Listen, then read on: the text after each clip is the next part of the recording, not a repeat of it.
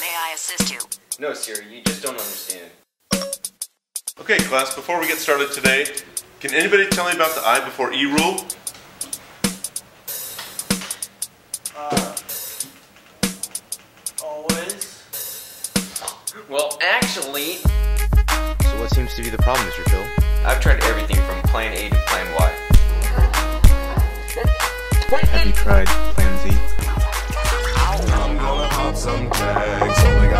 got dollars in my pocket. I'm, I'm hunting, looking for a come up. This is fucking awesome. Hello, Phil. We've been watching you. I think you'll be valuable to us.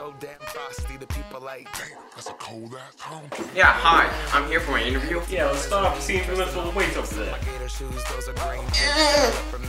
Come on, man,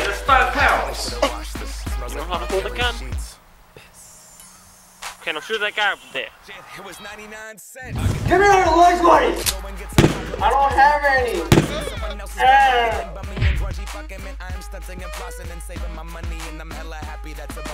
I'ma take your grandpa style. I'ma take your grandpa style. No, for real. Ask your grandpa, can I have his hand me down?